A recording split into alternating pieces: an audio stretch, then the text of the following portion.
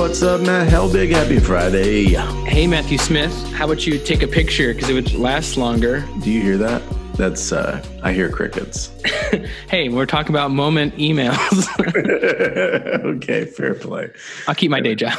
Before we get started, I want to thank Email Monks for sponsoring this episode. Need help in creating really good email templates for your campaigns? Discover how Email Monks can make that happen in a snap. They are experts at designing and coding email templates at a great price. If you want to level up your email game, give Email Monks a try. I love Moment. I don't know if you, it sounds like you got a lens and, and I've had a lens. It's just neat to see this craftsmanship in this email. I think you're the one who picked this one out. Tell me a little bit about what you're loving, man. Uh, yeah, I really like their use of GIFs in their emails. They choose email to do a lot of their messaging. I think they do a really good job of switching up the layout of some traditional email design and mm-hmm. showing content using good colors, GIFs within their emails. I think a lot of their emails are mostly all images. So I think mm-hmm. the load mm-hmm. size can be um, a little bit tricky, but I think there's a lot of design pieces in this that work really well for email. And I think they kind of know their audience, um, especially on mobile. I think a lot of their emails are pretty somewhat optimized. So I think mm-hmm. for some brands that have to use images and custom fonts and interesting layouts. Um, I can't really escape from the all image emails. I think there's some points in these moment emails that are really good. I think you actually nailed it. You know, there's just some really nice work being done here. So, you know, a lot of people are trying some of these grid flexible designs. These grid flexible designs are pretty interesting. You know, it's a neat way of keeping these emails from feeling like they're just a bunch of like rectangles flowing into each other. And I love this GIF being text that's animating in over. It really calls attention to it. So uh, it's a simple way to do a GIF, but I, I think it's very effective. Man, the photography is beautiful, which you would expect for a brand like Moment. I'm able to scroll, get to see really clear CTAs, just bright red, bam, nothing missing that, right? Mm-hmm. Really simple text. Uh, one of the things I love about this email is there's just so few different like type styles for me to grok and like start to understand understand and try and like figure out what they mean and so on and so forth. I can just be, you know, really clean and clear with it and be done. You know, I like this use of the red. It's clearly not a CTA, even though they're using CTA color. So that's okay. That works. Just this nice layout of letting it overlap over the side. There's a metaphor that works through this design, and the metaphor is looseness, you know, and like breaking this grid. Mm-hmm. Even though you'll notice in something like this, I'm guessing, I'm going to scroll up here, notice that they more or less, well, it's not perfect. This line right here is the same line as this. So basically, that same line there is what you see up top as well. They've probably chosen some grid lines to obey. You know, it's just a nice flowing email, right? So up here, your eye is going from left down, right, now left,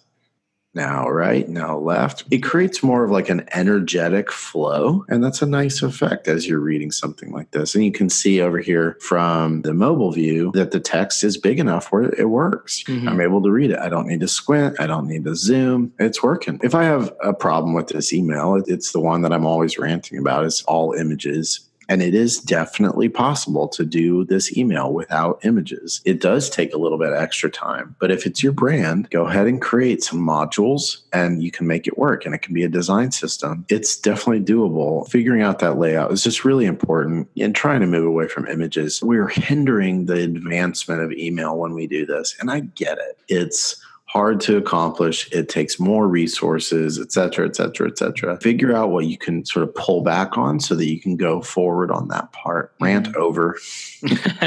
yeah, I think this one would be on the more advanced side when it comes to utilizing some of those custom fonts within the email. Keep scrolling down. I want to see like that footer. I think they do some fun stuff, especially with some of the text overlay. Yeah, I like this this kind of text over image piece as well. Yeah, that mobile optimized footer is kind of nice. I like that CTA only two spots left like it's very like um, actionable. That is that's pretty cool, and I bet that changes, uh, or at least there's cool. a possibility that it can change. Little name drop for our friends, Nifty Images. They're freaking amazing at that. You can pull from their API and you can update based on the database right into an image.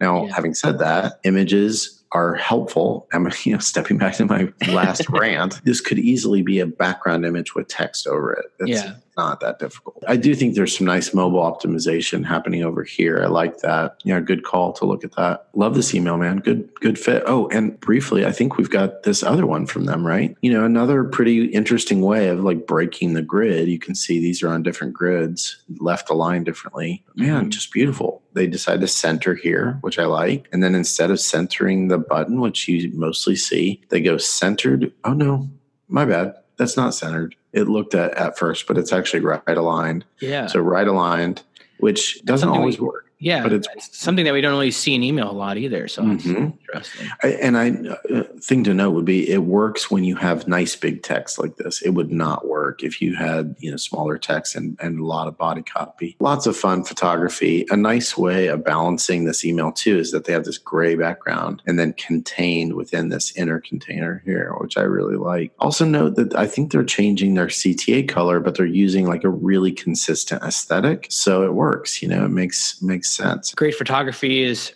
really fantastic. Mm-hmm. And again, too, even though this is all images, I think they're images and the, the copy is large enough so that it really right. works on mobile first. And the desktop maybe feels a little bigger, but it doesn't feel like too big to right. read. So I think it's a nice balance between the two. Yeah, agreed. Yeah, if you're going to do images, because that's what you have to do at this moment in your company, then definitely make sure that you're um, you're using text that's large enough to be viewed in mobile. I've seen examples of rearranging images. Like sometimes you can do a grid of images and they can rearrange in a responsive way so that you end up having larger text. Yeah, I mean, overall, I just think these are fantastic emails. Thanks for bringing them to the table, dude. Yeah, I always look forward to getting these moment emails. It's like a, little shot of visual dopamine every time you get to open them because you see all this amazing photography and interesting layouts. Well, dude, uh, have yourself a solid weekend. You got anything fun going on? I'm going to take a bunch of pictures with my moment lens me personally, I just got my Canon EOS R and a new Ooh. 35 millimeter prime. I am super psyched about it. 2.0. We're gonna have some fun with that camera. We might have to plug your Instagram because you do some good stuff. Oh, thanks, man. Uh, yeah, I mean, if you want to check out Whale on Instagram, just the name, the animal, that's it.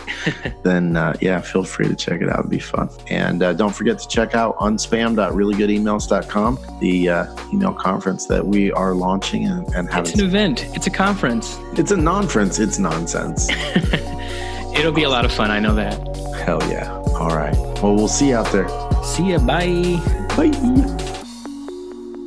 If you have any feedback on the series, please leave a comment down below. Hit subscribe to keep up with future episodes. Thank you for giving a listen and letting our sponsors know you love really good emails.